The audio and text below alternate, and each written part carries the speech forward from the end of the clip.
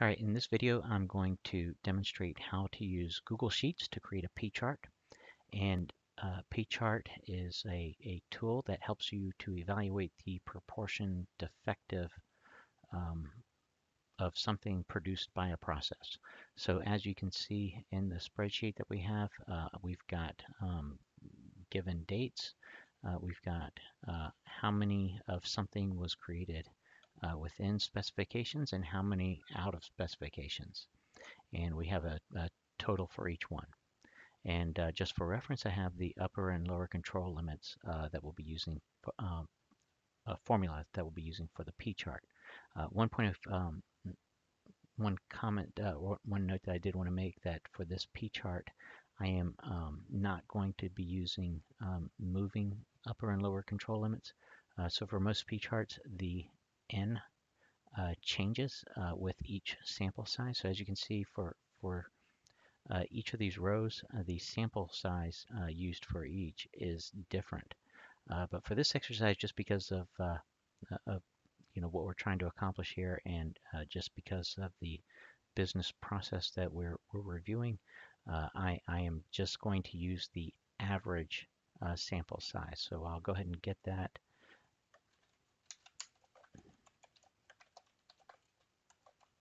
the average sample size, say equals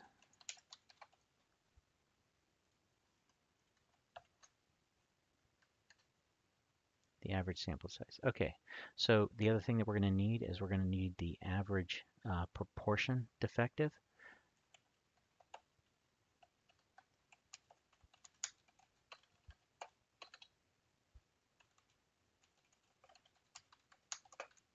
Defective.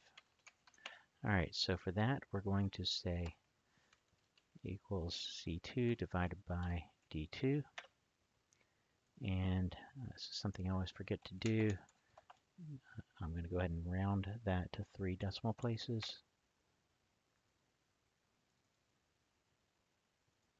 I don't know why I did that.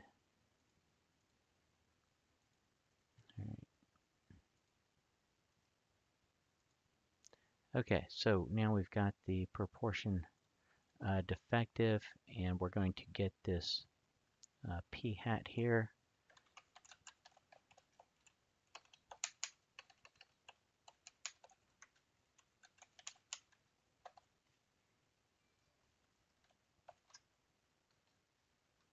And again, I failed to round on both of these. For the end of this video. We'll see if I can remember to do that consistently.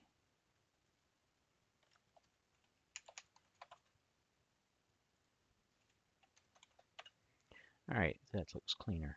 All right, so now again, we've got um, uh, for each day, we've got the uh, total that was created, the, the total that was out of specifications, and the proportion that was uh, out of specifications. So what we can do is we can take a quick look at this and we can see what this does look like uh, from a chart perspective. Uh, now the reason I selected all of these columns is because I'm having some problems with my mouse right now, so I'm going to go ahead and clean this up a bit and delete the columns that we don't need. All right, and so there you can see the daily proportion defective.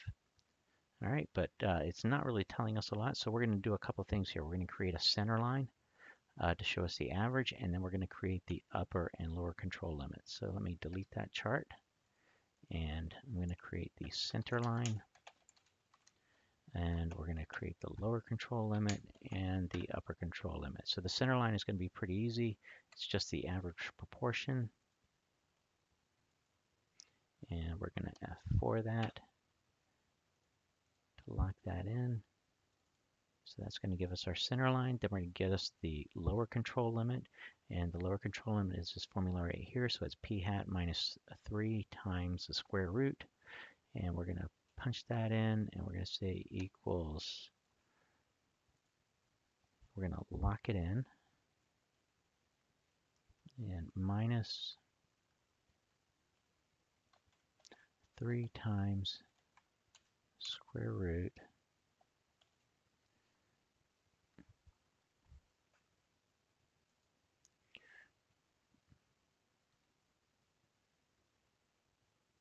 times 1 minus divided by, and again, we're going to use the average uh, sample size.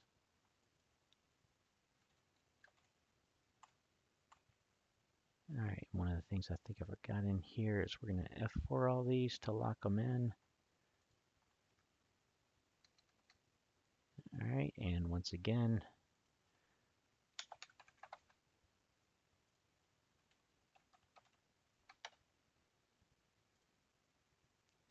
All right, so then for the, as you can see, for the upper control limit, essentially the same formula. The only difference is I've got to change that negative sign to a plus.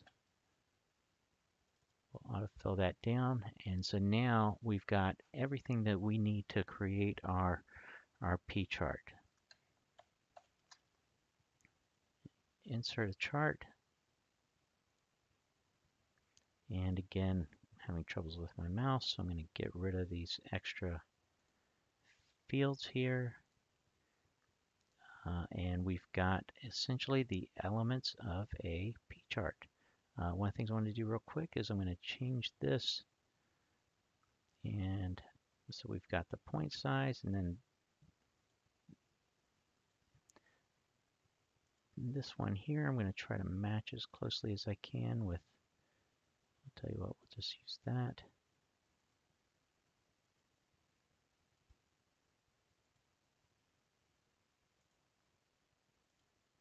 And uh, now we have essentially the elements of a P-chart. So here you can see where it's going out of um, the, the control limits uh, periodically.